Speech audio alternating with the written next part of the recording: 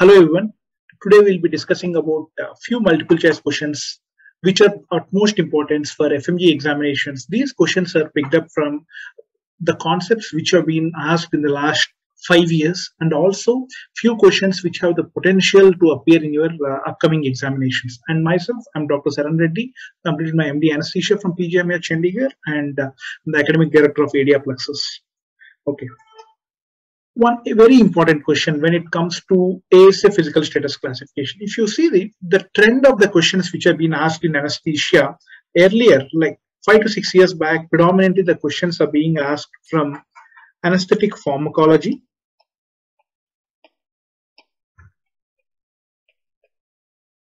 that is IV drugs, inhalational agents, muscle relaxants, and local anesthetic drugs. But if you see in the last five years, the, it slowly drifted towards the core anesthetic concept, the basics of anesthesia like pre-anesthetic checkup, monitoring, airway, and airway equipment, and related to CPR, daycare anesthesia,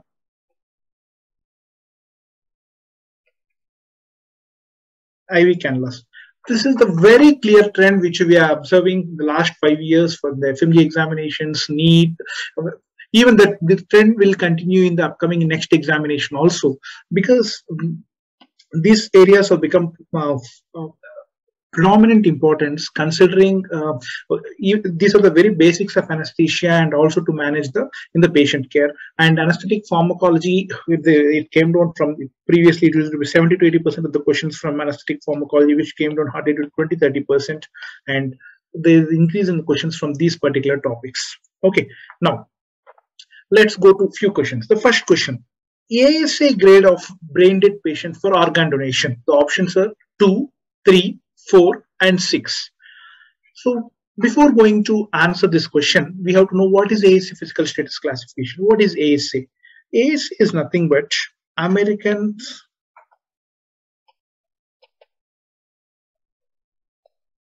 Society of Anesthesiologists physical status classification. Physical status classification. So what does it do? It is postulated by a person called Meyer Saklad. And what exactly it does? Every patient who is going to be administered anesthesia, they are classified into six grades, that is one to six. And based upon which grade they fall, considering their comorbidities, what are the medication, based on their comorbidities and what is the status of the medications and their present status, they graded them into six conditions, six grades so depending upon the severity, uh, as the grade increases from 1 to 6, the morbidity and mortality chances increases. There is um, operating the the risk on the operating table increases. So we have to very importantly we have to remember the definitions. ASA 1, 2, 3, 4, 5, 6. What is ASA1? ASA1 is a normal healthy person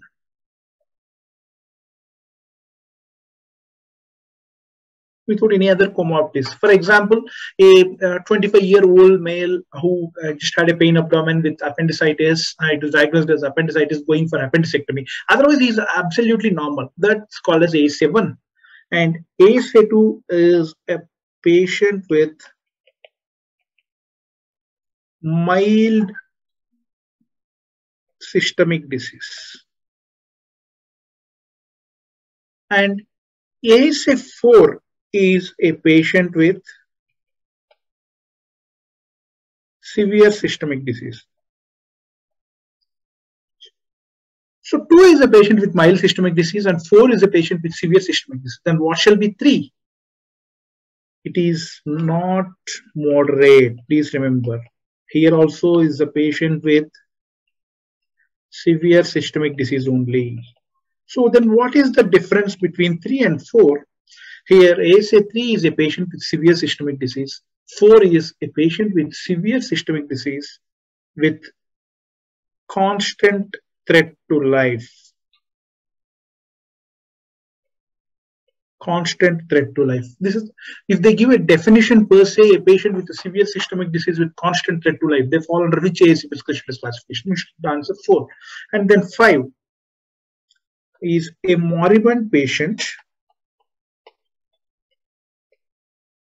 A moribund patient who is not expected to survive without surgery. A moribund patient who is not expected to survive without surgery. We'll discuss examples in a minute. Sixth is a brain dead patient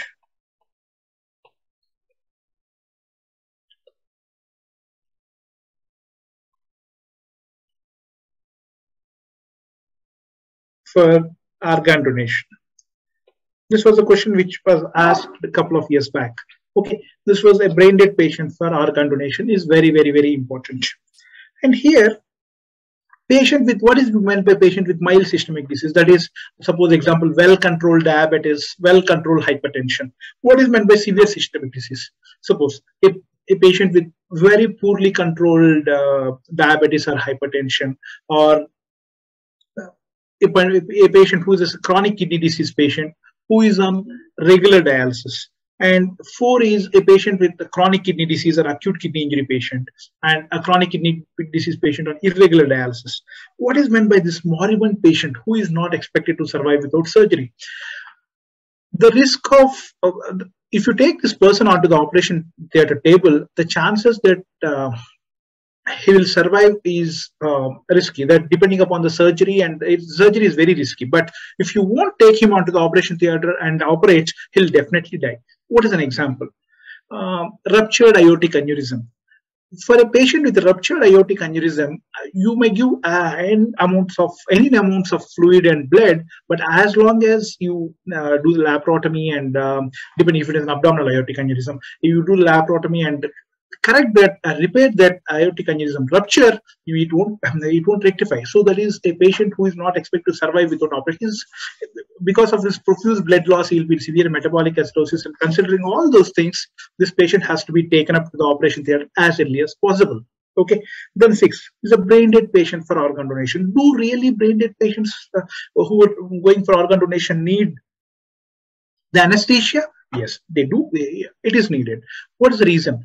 It is brain dead means the spinal in brain dead the spinal re reflexes below c1 may still be present for effective muscle relaxation you need still anesthesia. So a grade of brain dead for organ donation is d6 is the correct answer. You should never do make mistakes. And two is a patient with mild systemic disease. Three is severe systemic disease Four is severe systemic disease with constant threat to life. We'll discuss few examples. Few, there's no need to by heart few, uh, all the things, but remember,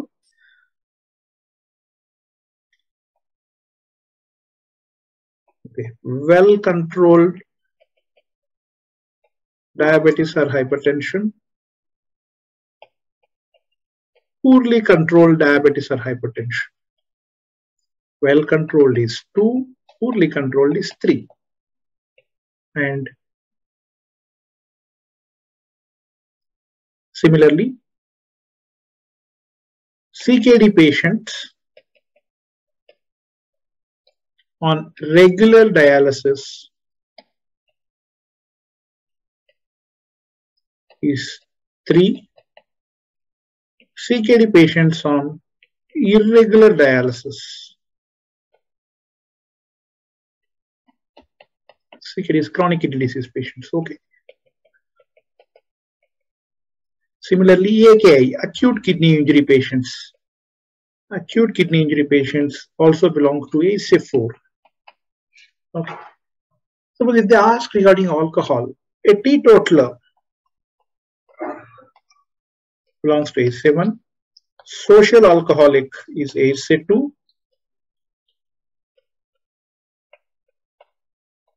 Alcohol dependencies. Three. Then remember few other important things. Patient with sepsis or disseminated intravascular coagulation fall under four. With multi-organ dysfunction syndrome, it is five. Examples you want to note down for five. Ruptured aortic aneurysm. There will be many, but ruptured aortic aneurysm, intracranial bleed with mass effect. Intracranial bleed with the mass effect. Okay, this is about the ASA physical status classification. You should remember ASA 1 is a normal healthy person, 2 is a with patient with mild systemic disease, 3 is a patient with severe systemic disease, 4 is a patient with severe systemic disease with constant threat to life, 5 is a moribund patient who is not expected to survive without surgery, and 6 is a brain dead patient for organ donation. Clear? Then we'll go to the next question. A four-month-old kid is posted for elective urological procedure and he has to be kept fasting from breast milk for how many hours? Very important question. See, usually uh, the options two hours, four hours, six hours, eight hours. If it's for adults, usually you have the habit of saying, okay, do overnight fasting and all. But no, there are specific NIL per oral guidelines, NPO guidelines, which say how many hours you have to keep the adults fasting and for um, what food it has to be kept fast. There are specific guidelines for that. Similarly, here they mentioned four month old kid okay, from breast milk for urological procedure. It's an elective procedure. So how many hours you have to keep them fasting? Understand this. Okay. In kids, NPO guidelines,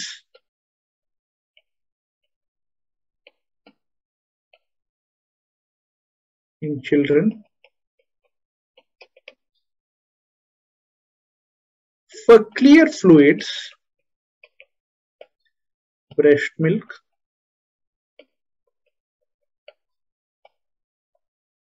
formula milk,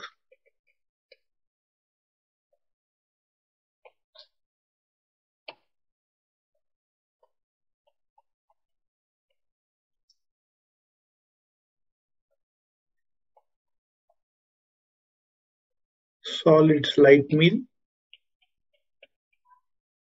solids fatty meal. So in children, the clear fluids, the earlier guidelines say it is two hours, but the recent guidelines say even one hour is sufficient for that. So in the options, if you have both one, two, three, one and two, go for that means they are asking you to, they are expecting you, expecting from you that to answer from the new guidelines that is one hour. Okay. Clear fluids means like water, pulpless orange juice kind of thing. And breast milk, very important, it is four hours. And formula milk, six hours. In children, semi-solids, again, it varies four to six hours. Solids, light meal, six hours. Solids, fatty meal, eight hours. But in adults, in adults, clear fluids,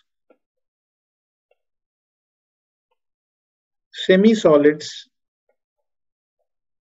solids if it is a light meal, solids if it is a fatty meal. Clear fluids it is 2 hours, semi-solids 4 hours, light solids 6 hours,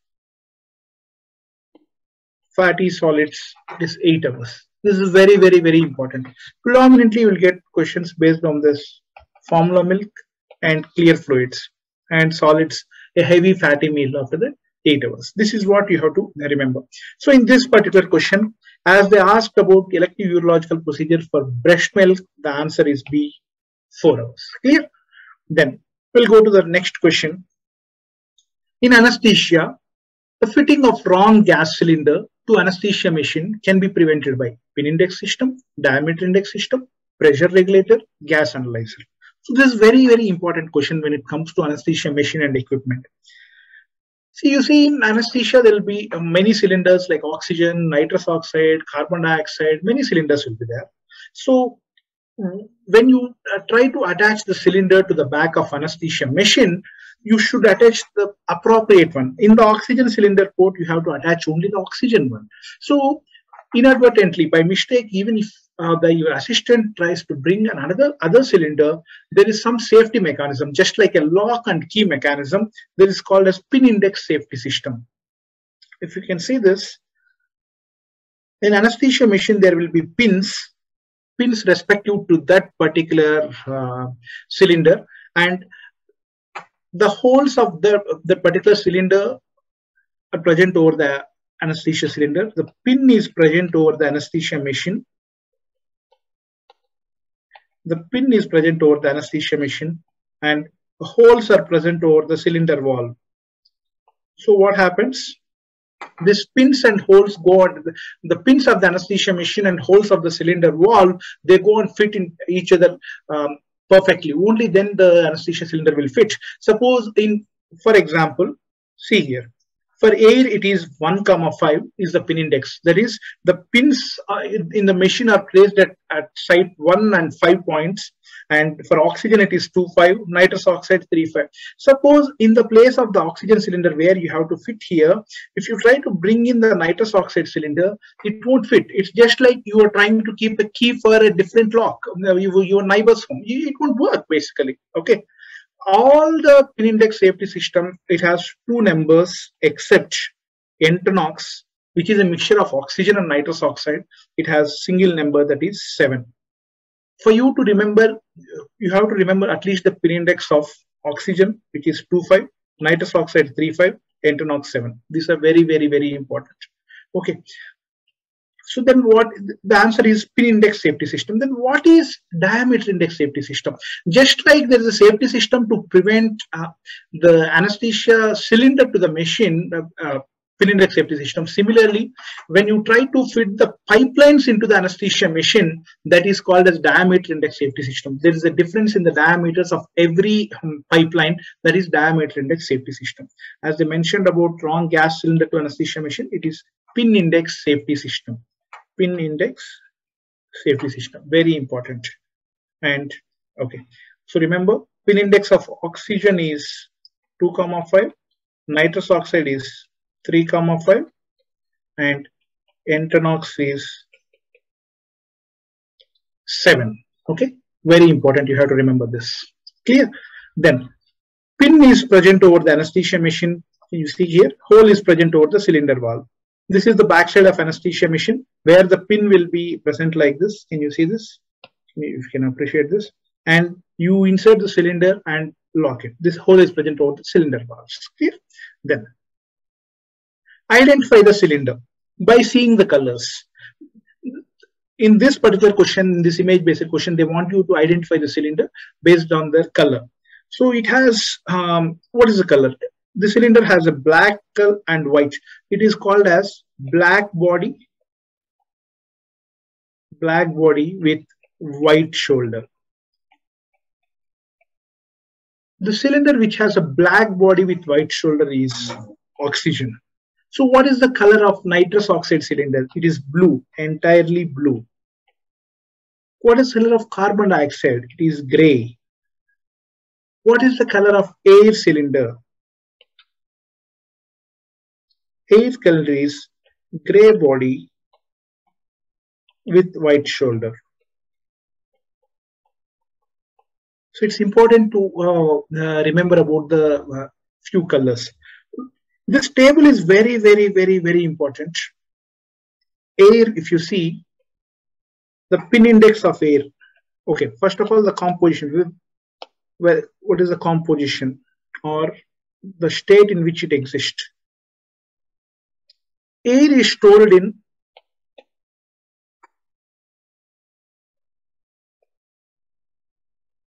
air is stored in gaseous form only. Oxygen is stored in gaseous form. Entonox is stored in gaseous form. But nitrous oxide carbon dioxide and cyclopropane are stored in liquid form.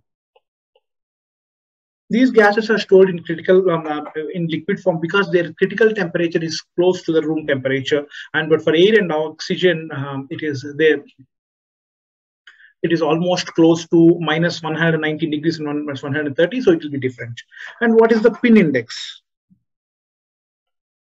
What is the pin index? For air, it is 1 comma 5, oxygen 2 comma 5, nitrous oxide 3 comma 5. For carbon dioxide, it is 1 comma 6 and 2 comma 6, depending upon the percentage of carbon dioxide, 7.5. Just remember 1 comma 6 and 2 comma 6, both are for carbon dioxide. Cyclopropane, it is 3 comma 6. And for Entonox, it is 7. Then what is the pressure in which it is stored? The pressure is air and carbon dioxide, oxygen, it is stored close to 2000 psi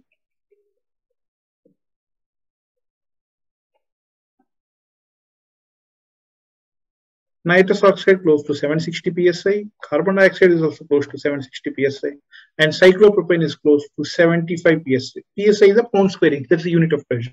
Then what is the color? So this is a gray body with a white shoulder. This is air. Air exists in gray body with white shoulder. and this is oxygen black body with white shoulder oxygen is black body with white shoulder. Nitrous oxide is completely blue in color like this. Carbon dioxide is gray color. Cyclopropane is orange in color. Entonox again see it is a blue body with a white shoulder is a blue body with white shoulder.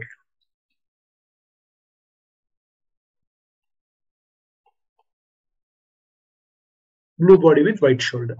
This is a very, very, very important table where you have to remember about the colors and what is the pin index of uh, these things. Okay, very important guys. So as we discussed, oxygen, it has black body with white shoulder. So the answer is oxygen. Then what is true about the Bain circuit? Option A, Mapleson-C circuit. Option B, circuit of choice in spontaneous ventilation. Option C, circuit of choice in pediatric age group. Option D, circuit of choice in controlled ventilation. So before going to this, we'll quickly see about Mapleson circuits. Mapleson circuits are also called as semi-closed circuits. They're classified six groups, A, B, C, D, E, and F. So A, B, C, D are used in adults. E and F are used in pediatrics. But B, C, and E are obsolete nowadays. So whatever we're using A, D, and F. What are the other names? A is Mapleson A is called as Magill circuit. B and C, just forget about this. D, the modification of Mapleson D is Bain circuit. Mapleson D, just remember Ayre's T-piece, Ayre's T-piece. Mapleson F is called as JR circuit or Jackson-Rees circuit. Jackson-Rees circuit. Jackson-Rees circuit.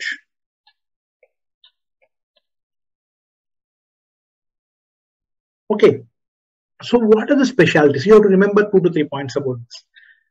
The best circuit of choice for spontaneous ventilation. It is the best circuit of choice for spontaneous ventilation in adults. Spontaneous ventilation in adults. And similarly, remember, Bain circuit is the best circuit of choice for controlled ventilation in adults. It is also called as universal circuit. Ayre's circuit we are not using now. Jackson-Rees circuit, you have to remember, it is the best circuit for both spontaneous and controlled ventilation in children. Okay, and it is usually used in less than six years group and with less than 20 kgs age group. Okay, this Bain circuit is also called as coaxial circuit. What is meant by coaxial circuit? A tube runs within a tube. So one carries the inspiratory and another carries the expiratory gas. This is called tube within the tube. This is called a coaxial circuit. Now say this. If you can closely see a green tube running inside a white tube, this is called as a coaxial circuit. Now, true about Mapleson's Bain's circuit, they asked. Mapleson C circuit. No, it is Mapleson D circuit. Circuit of choice in spontaneous ventilation. They didn't mention about adults or um, pediatrics, but assume as if it's not mentioned specifically that it is in adults. In spontaneous ventilation, it is Mapleson A. So this is also wrong. Circuit of choice in pediatric age group. No, it is Mapleson F.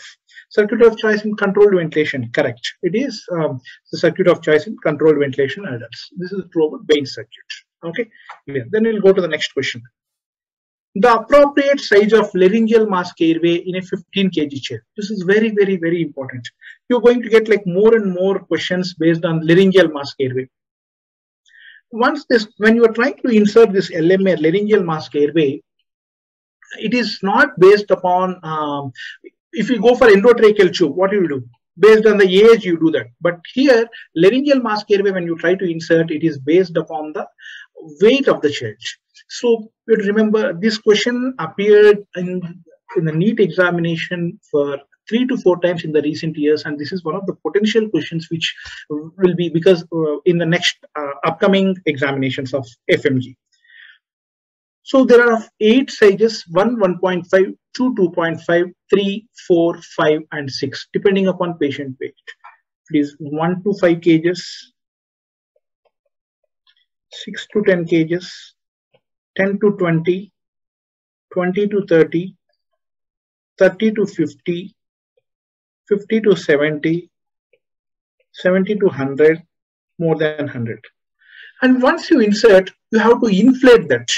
You, how much ml it has to be inflated? You have to inflate with 4 ml, 7 ml, 10, 14, 20, 30, 40, 50 ml.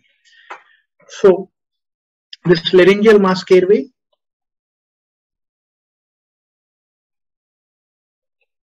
so you when you inflate it because this laryngeal mask airway will be having the cuff here will be having the pilot balloon. It inflates once you insert. So once you inflate this this laryngeal mask airway it has to be inflated depending upon the size at least 4 ml 7 ml 10 14 depending upon various sizes. This we have to uh, make sure we have to keep continuous revision and have to remember this. The questions have already appeared based on the patient weight and what are the sizes to be um, what are the size of laryngeal mask airway to be used? In this particular question, they asked about laryngeal mask airway in 15 kg child. In a 15 kg child, the size what you use is size 2 okay? 1.5 you use between 6 to 10 here 10 to 20 is 2 2.5 use between 20 to 30 and 3 use in between 30 to 50 okay. This is about the laryngeal mask airway the appropriate size based on uh, the weight of the child. Clear?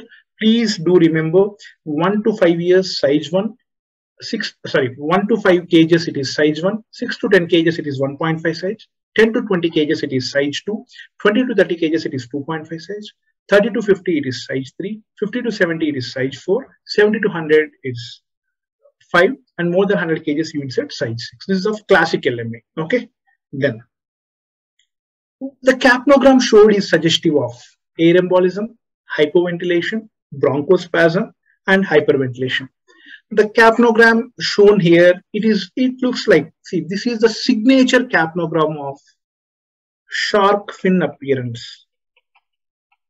It looks like a shark fin. Shark fin. This is characteristic of shark fin appearance is characteristic of bronchospasm, airway obstruction, in conditions of COPD, asthma. This shark fin appearance is a signature capnogram of bronchospasm, airway obstruction, COPD, and asthma. This is one of the most potential questions which you can expect. And in the future years, uh, the more and more questions are going to come from capnogram. What exactly capnogram means? Capno means carbon dioxide. You are measuring carbon dioxide at what is meant by capnography? See, at the end of the tidal volume, that is end tidal carbon dioxide, EtCO2, you are measuring carbon dioxide the, at, at the end of the tidal volume, tidal breath. So once you uh, just assume you are taking a breath and you are inhaling and exhaling. Obviously, exhalation is uh, it takes more time than inhalation. So this is how the capnograph looks usually the normal carbon dioxide levels will be between 40 to 45 sorry 35 to 45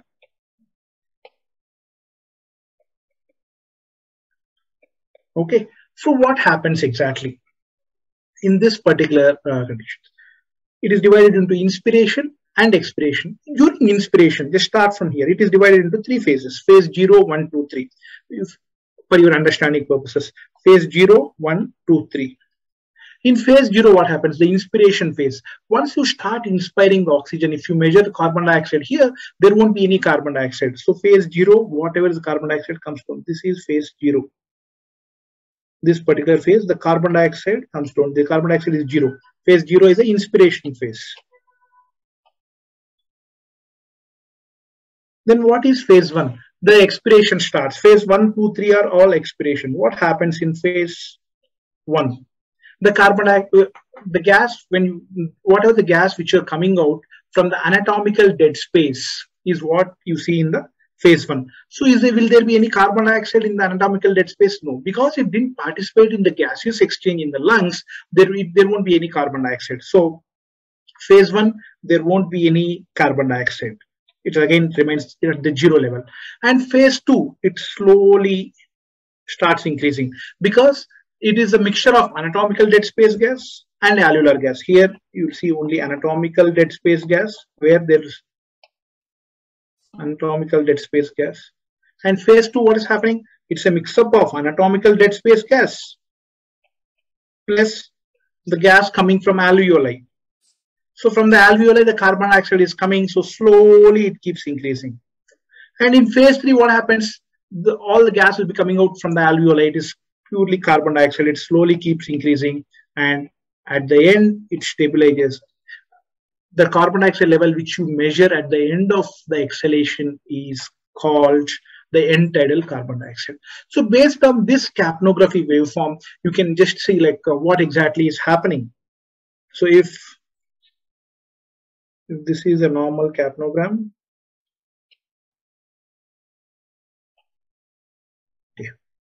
if you see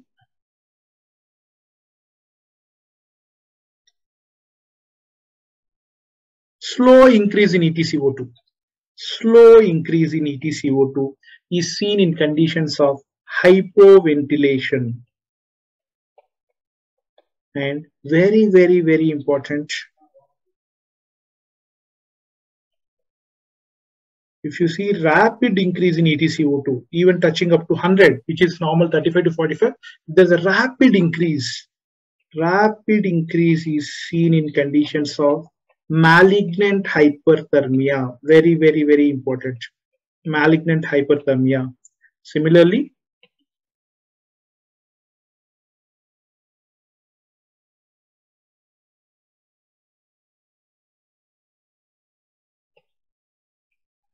slow decrease is seen in hyperventilation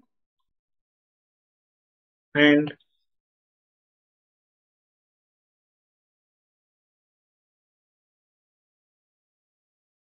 rapid decrease is seen in pulmonary embolism. This is very, very, very important.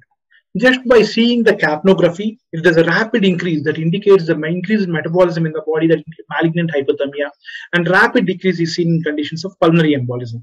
In addition to these things, you have to remember, more important, as I told you, this prolonged expiratory phase, prolonged phase, phase two and phase three got measured up. That is, it indicates the shark fin appearance, the signature capnogram of bronchospasm, COPD, asthma, and airway obstruction. Then, in a spontaneous ventilation patient, if you see in not just like this, these notches are called as curare clefts.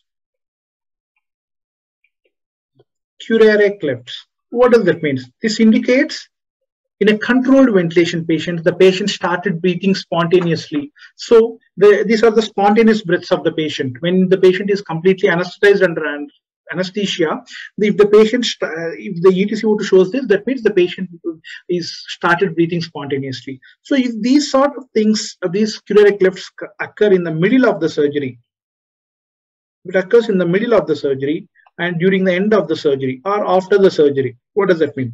What shall you do? If it occurs in the middle of the surgery, what that means the patient is coming out of anesthesia, the muscle relaxant effect, you have to administer more muscle relaxant. You have to administer muscle relaxant. So the same thing happens at the end of the surgery or after the surgery. That means the patient has started having spontaneous breaths. So you start giving the reversal agent so that the patient will come out of the muscle relaxant effect. So administer reversal agent. Administer reversal agent. Okay, this is very, very, very important. You have to remember this. Clear? Cleft during the middle of the surgery, administer muscle relaxant. At the end of the surgery, administer the reversal agent. Then if you see something like this,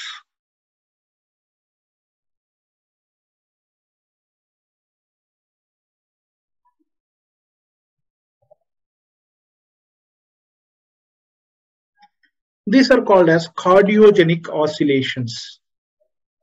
Cardiogenic oscillations. Just remember, because of the thin chest wall, don't go into complexities of this. This is called as cardiogenic oscillations. Okay. These are these are the waveforms which you should at least remember. Slow increase hypoventilation, rapid increase malignant hyperthermia, slow decrease hyperventilation, rapid decrease pulmonary embolism, shark fin appearance in bronchospasm, curare cleft seen uh, curare cleft is uh, the dip in that is a spontaneous breath in controlled ventilation and cardiogenic oscillations. And if you can, one more thing, suddenly if the capnogram becomes like this. This is called as flat line capnogram. Suddenly the capnogram, it becomes zero. That means there's no carbon dioxide, like you're not able to trace. What are the causes for this? Flat line capnogram, it is because of many things. Esophageal intubation, the endotracheal tube which you are supposed to keep in endotrachea, uh, if it is done in esophagus, esophageal intubation, if there is circuit disconnection, cardiac arrest, all these things may lead to flatline capnogram. As we discussed about cap, cardiac arrest, and while doing CPR also, how does it mean? So normally it is 35 to 45, but while doing CPR, you'll be having like this from 5 to 10. With every compression, you'll be seeing this is in cardiac arrest. Somewhere between close to 5 to 10, which you see in cardiac arrest. And suddenly it increases like this till 20 that is something called ROSC return of spontaneous circulation. The patient is derived return of spontaneous circulation. This is very very very important. Okay? Return of spontaneous circulation. This capnography itself is a very important topic. See here. The capnograph showed is suggestive of bronchospasm. So in air embolism, what happens? It, it rapid decrease. In hypoventilation, what happens? Slow increase. In hyperventilation, what happens? It is slow decrease in ETC. Good. Then we'll go to our next question. Identify the following monitor. It is BIS, bispectral index, entropy, neuromuscular monitoring, or capnography. So remember, even the clue is there in the question. See, sometimes uh, the examiners leaves a few clues in the question. Picking up that clue is also very important. Here it's already written as BIS, but even if it is not there, if there is BIS and entropy are looks similar, but BIS has four leads and entropy has three leads. And neuromuscular monitoring you usually do with the three leads over the hand, the muzzle, two leads. Here, what happens? Why is this? What is this monitor basically? Bispectral index. BIS are bispectral index. This bispectral index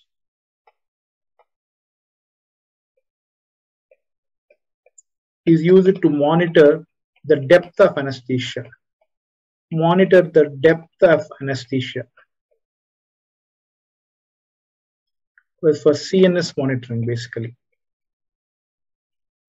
How deep the anesthesia, whether the patient is completely anesthetized or the patient is completely sedated and paralyzed, and whether they're able to recollect or whether the patient is completely sedated. Uh, the patient should not recollect anything which happens in the intraoperative thing. So the bispectral index, it ranges from 0 to 100. 0 is a completely silent brain.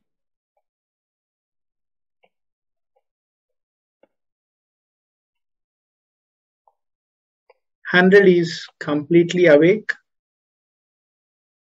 and active. And remember, score between 40 to 60 is ideal or adequate for anesthesia.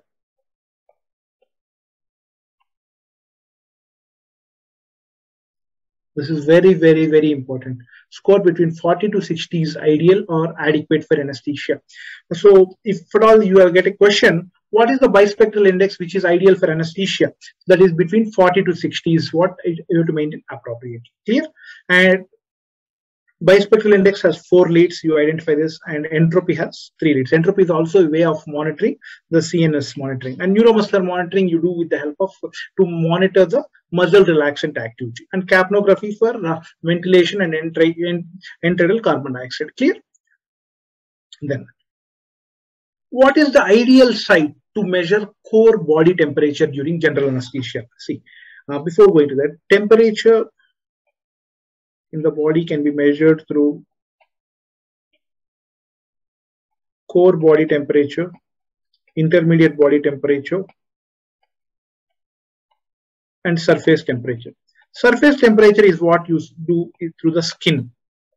And intermediate temperature you best measure it in the rectum. And core body temperature, again, is equal to core body temperature and core brain temperature. Core brain temperature is measured in tympanic membrane. Core body temperature is measured in pulmonary artery, distal esophagus, and nasopharynx. So if the question is asked which the ideal site for core body temperature, it is the pulmonary artery is the ideal site. And for core brain temperature, it is tympanic membrane. Intermediate temperature is rectum. So ideal site to measure core body temperature is pulmonary artery. Though distal esophagus and tympanic membrane also can use it for to measure the core temperature, but the best is at the level of pulmonary artery. Okay. Then. Okay. A question from anesthetic pharmacology. Okay, the next question. Intravenous anesthetic induction agent used in daycare surgery. Propofol, ketamine, etomidate, and thiopentone. Here they mentioned about daycare surgery. Where, what is meant by daycare surgery? In daycare surgery, the patient will be admitted, operated, and discharged on the same day. For a drug to be administered in daycare surgery, the drug should be having a rapid induction and rapid recovery. Among the IV anesthetic agents, induction agents, propofol has that property of rapid induction and rapid recovery. So propofol is the IV anesthetic induction agent of choice for daycare surgery. So in daycare surgery, the drugs of choice, if it is IV induction agent,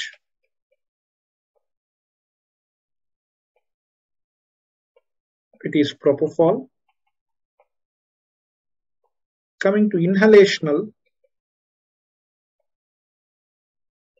it is in adults, desflurane. In kids, it is sevoflurane.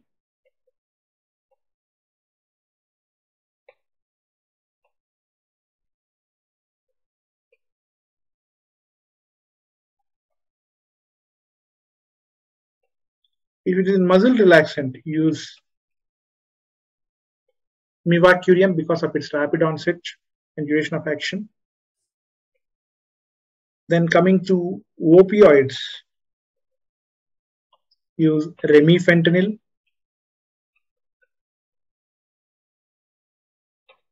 If it is in uh, benzodiazepines,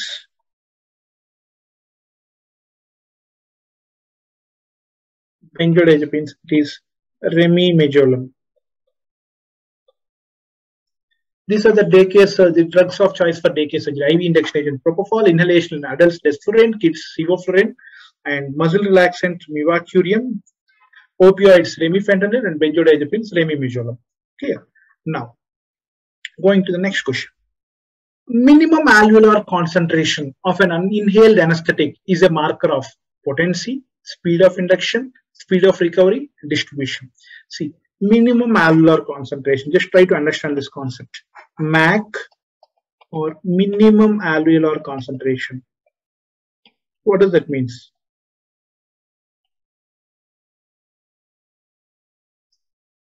So, medicine is, as I always say, medicine is half English.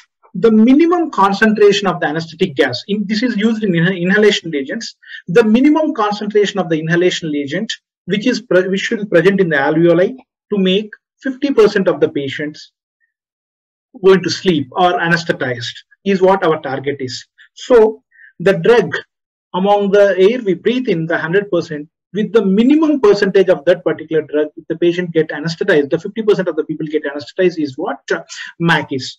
Minimum alveolar concentration is the percentage of anesthetic gas required the percentage of anesthetic gas required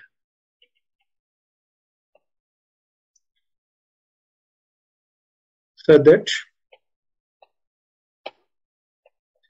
50% of the patients do not respond to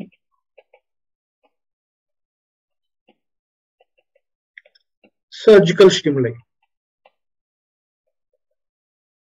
So once any surgical stimuli is given, reflexly will try to withdraw. That reflex should not be there, at least in 50% of the patients, with the minimum percentage of the gas which is present.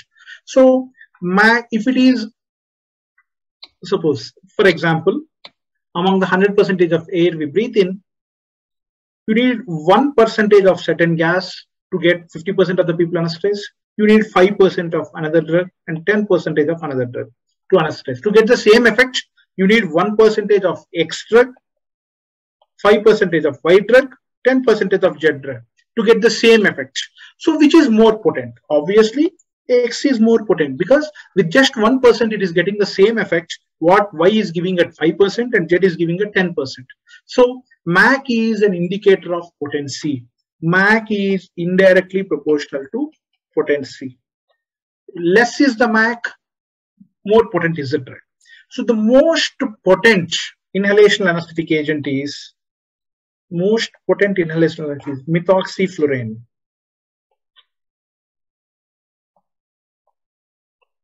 Most potent methoxyflurane. It is 0.95. Then least potent is though we won't consider as uh, nitrous oxide and all those things, nitrous oxide as a carrier gas has 104.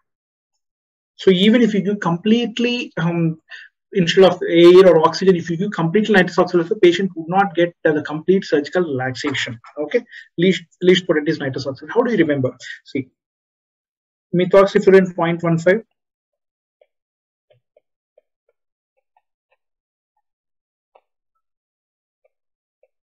halothane 0.75, isoflurane 1, sevoflurane 2, desflurane 6. So as how can you remember? If they ask you to ascend um, a lot i mean arrange in ascending or descending sequence. Remember mahendra singh dhoni. Msd is his three letter uh, nickname and mahi is another nickname. So just take it. Mahi. Singh dhoni. Mahi hd so m is methoxyflurane with 0.15 halothane with 0.75 isoflurane 1 sevoflurane 2 desflurane 6 so as you go from m to d what happens the mac value increases. Similarly, the potency decreases. Very important, guys. Clear? You have to remember. So MAC is an indicator of potency. The speed of induction and speed of recovery depends upon the blood gas partition coefficient. Blood gas partition coefficient. Okay. So MAC, minimum alveolar concentration of inhaled anesthetic is a marker of potency. Speed of induction and recovery depends on blood gas partition coefficient. Okay. Then, what are the drugs excreted by Hofmann's elimination? Gallamine, atracurium, procaine, thiopentone. Okay. So here, basically Hofmann's elimination, it is uh, when by the muscle relaxant. Here, the procaine is basically even without knowing if they are given other muscle relaxant options, you might have confused, but here it is straightforward. Procaine is a local anesthetic drug. Thiopentone is an IV anesthetic, IV induction agent drug. And gallamine is also a type of uh, muscle relaxant, but uh, it is not of use uh, because it crosses the blood-brain and placental barrier. You won't use this. Here the answer is straightforward, atracurium. But remember, what is the importance of Hofmann's elimination? See, these drugs, atracurium and cisatracurium, So usually what happens, mm, all the anesthetic muscle relaxant drugs, they either get metabolized or eliminated in liver, kidneys or bile. So what happens if the drug is metabolized or eliminated in the particular organs, if that particular organ is deranged, what happens if they can't properly um, eliminate from the body and they have prolonged action. To prevent that, we need, so if there is a patient, if there's a drug which is getting excreted to the kidney and the patient has a renal failure, so you can't use that particular drug in that patient. And if the patient, uh, the drug metabolizes in the liver and there's a patient has a liver failure, you can't use that particular drug in liver failure.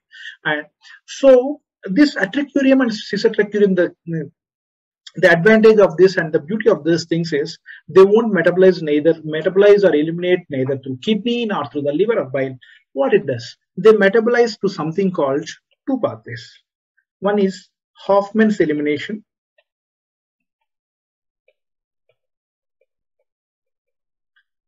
This is a rapid this is nothing but hofmann's elimination is nothing but spontaneous non-enzymatic degradation. No uh, per se metabolism they non-enzymatically they degrade uh, into circulation.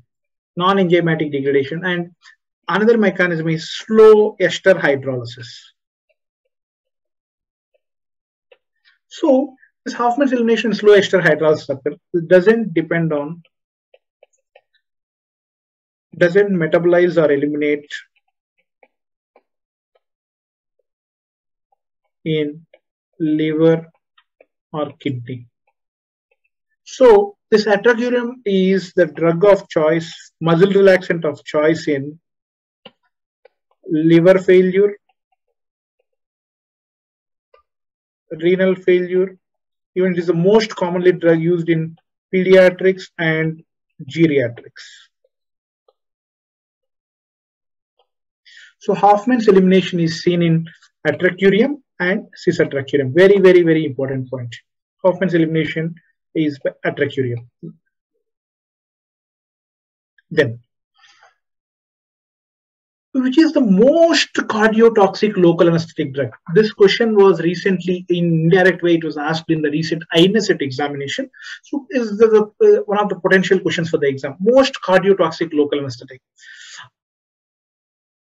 The most cardiotoxic local anesthetic is bupivacaine and lignocaine, prilocaine, among ropivacaine, most cardiotoxic is uh, bupivacaine. And remember a few points. Bupivacaine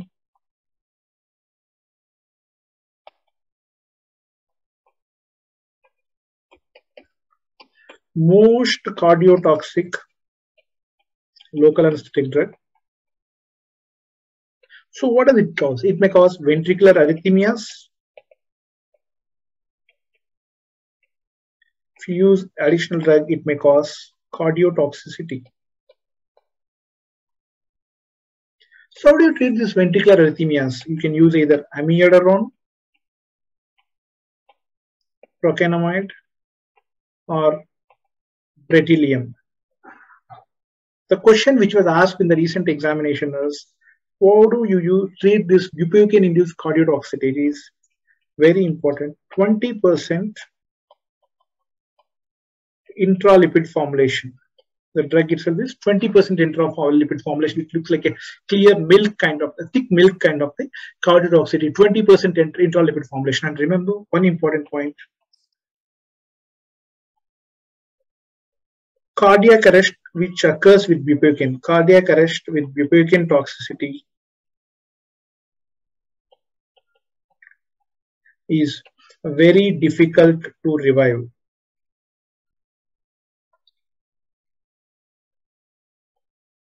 Cardiac arrest with bupivacaine toxicity is very difficult to revive.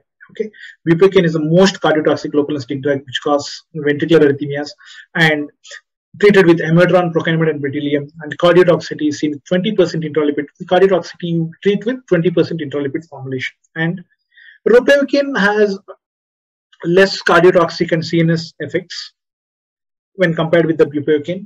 And prilocaine, it is notorious for methemoglobinemia. It causes methemoglobinemia. And lignocaine if you want if you, lignocaine with preservative lignocaine with preservative can cause Cauda equina syndrome.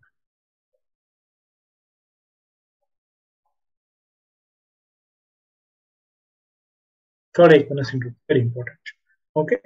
Then coming to the next question. In spinal anesthesia, the drug is deposited between ligamentum flavum and dura, dura and interspinous ligament, pia and arachnoid, dura and arachnoid. For this, you have to remember uh, where the drug uh, where the drug is deposited. You have to see like you have to remember what are the structures that are pierced once you are trying to uh, inject a spinal anesthetic drug.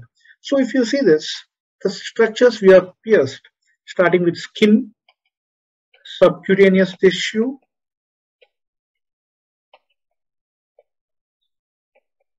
supraspinous ligament.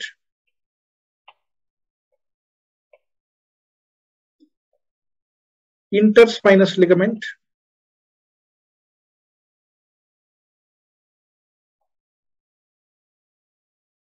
Ligamentum flavum.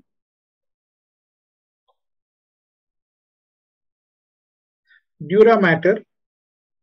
And arachnoid membrane So these are the three ligaments, supraspinous ligament, interspinous ligament, and ligamentum flavum. So skin, subcutaneous tissue, and then you pierce here, see. Skin, subcutaneous tissue, here's the supraspinous ligament, this is the interspinous ligament and ligamentum flavum, then dura, and after piercing the arachnoid, you give in the subarachnoid space. Subarachnoid space. That is, you inject the drug between the arachnoid membrane and pia mater. So between pia and arachnoid is the correct answer. Clear? So what happens in if the same question they ask in epidural anesthesia, the drug is deposited between. In epidural, above the dura, epidural, the drug is deposited in above the dura. At this point, you deposit the drug in epidural. That is between ligamentum flavum and dura. Here, between ligamentum flavum and dura, you use epidural anesthesia. Okay. This is what you have to remember. In spinal anesthesia, the drug is deposited between pia and arachnoid, but in epidural, it is deposited between ligamentum flavum and dura. Clear? Then, identify the following needle. Whitacre. Identify the following needle. Whitacre, Sprotte, Tuohy, Quincke. So remember this is an 18 gauge Tuohy needle which is used for epidural anesthesia. So this is complete set of epidural anesthesia where this is the Tuohy needle. This is the LOR syringe, loss of resistance syringe, and this is the epidural catheter. So once you inject the drug, once you go into the epidural space, once you feel the loss of resistance, then you insert this epidural catheter and you can keep using for this for three to five days for prolonged post-operative pain relief. Okay, why is this LOR? What is this loss of resistance? So see this example. Once you go into, you have to give above the dura after the ligamentum flavum. So while you're going, while you're passing through skin, subcutaneous tissue, supraspinous ligament, interspinous ligament, and ligamentum flavum, you'll feel little bit of resistance. Once you feel, once you pierce this ligamentum flavum, there will be giveaway. That loss of resistance feeling is it helps in identification of the epidural space. Okay, this is syringe. This is 18 gauge Tuohy needle. So what are Whitacre, Sprotte, and Quincke? These are basically spinal needles. See here. Sprotte and Whitacre, Quincke. These are all spinal needles. The Sprotte and Whitacre are pencil tip needles, pencil tip type of needles. And Quincke is cutting type of needles. Cutting type of needles. So the advantages and disadvantages. The Quincke is technically easy technically easy but increased chances of PDPH, post-dural puncture headache.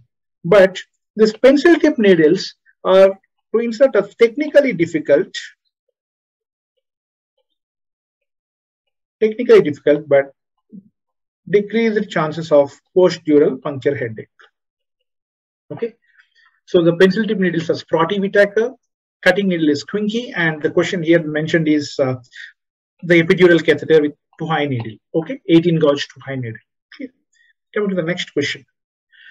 Very, very, very important questions which have been asked almost in every examination nowadays is the color of IV cannulas, the color of intra, intra IV cannulas and the flow with which they use. Okay, if you see the color of intravenous IV cannulas, 14 gauge is orange in color, 16 gauge is gray in color. 17 gauge is white in color. 18 gauge is green in color. 20 gauge is pink in color. 22 is blue. 24 is yellow. And there is another 26 gauge which is purple in color. Very important. So what are the other questions? They may ask you another way. They will give an image based question with this 18 gauge uh, with this green color and ask you to identify. This is very important. Don't try to remember this by mnemonics. Just by seeing it, try to analyze because the mnemonic itself will become difficult. 14 gauge is orange, 16 is gray, 17 is white, 18 is green, 20 is pink, 22 is blue, 24 is yellow, 26 is purple or violet. So what are the other questions they may ask you? What is the most commonly used uh, IV cannula in polytrauma. 16 gauge is what you use in polytrauma. Okay, 16 gauge is what you use most commonly in polytrauma. Then 18 and 20 are most commonly used. 22 you use in kids. 24 you commonly use in infants. And 26 you use in neonates. Okay, this is what you have to uh, remember about this. Then what is, if they ask you, what is maximum flow? In a minute, what is the maximum flow that you can use through this? You, what is the maximum of fluid you can give through this? Remember roughly 14 gauge it is 270 ml, 16 gauge 180 ml. This is per minute. Per minute. 270 ml, 180 ml, 9 about white, 90 ml, 60 ml, close to 45 ml, close to 22 to 30 ml, 15 to 20 ml. This is how you have to remember. What is the max, the amount of fluid that can be given in a single minute um, with the maximum flow is with the orange it is um, 270, 16 gauge 180 ml, with the 18 gauge it is 90 ml, 20 it is 60 ml, 22 gauge close to 45, 24, 20 to 30, 26, 15 to 20 ml. Clear? And then IV cannulas. Here, the color of 20 gauge IV cannula is pink in color. What is blue? green. What is yellow? yellow is basically 24 blue is 22 green is 18 okay yellow is 24 blue is again 22 and green is 18 clear? So iv cannulas are very very important. Till now they didn't ask about the flows but also it's wise to remember uh, the flow so that the in, if at all they ask you the, the potential examinations you'll be um, prepared to answer. Clear? Then coming to all of the next question. All of the following are reversible causes of cardiac arrest except hypoxia hypocalcemia hyperkalemia acidosis so whenever a cardiac arrest occurs, while you are treating that patient with, depending upon whether it's a shockable rhythm or non-shockable rhythm, when you keep giving the drugs, adrenaline, amiodarone, and all these things, simultaneously you have to work out what is the cause for that cardiac arrest. Are there any reversible causes of cardiac arrest? If, if there are reversible cardiac uh, cause of uh, reversible cause of cardiac arrest, if you if you reverse that particular cause, the patient may recover fast. So what are the reversible causes of cardiac arrest? It is called five you have to remember with you can remember with easily with uh, the mnemonic 5h and 5t the reversible causes of cardiac arrest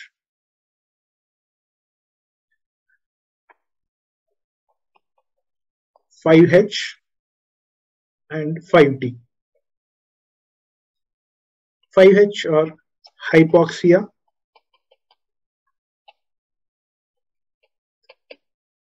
hypovolemia or hypotension, same. H plus ion, that is acidosis, hypothermia, then hypokalemia or hyperkalemia, both can cause cardiac arrest. So what is 5T? Tension pneumothorax,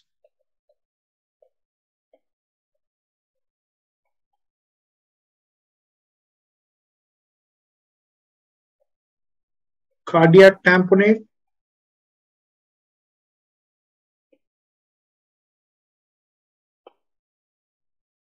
cardiac tamponade, toxins, coronary thrombosis,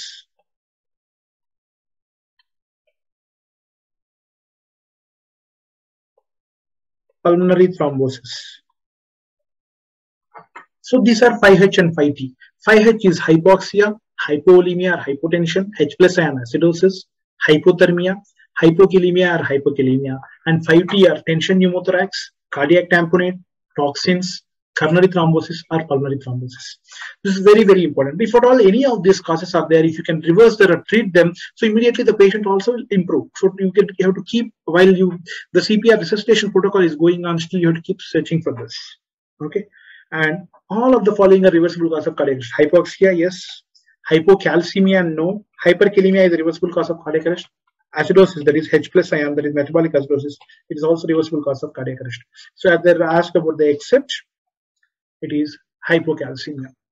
And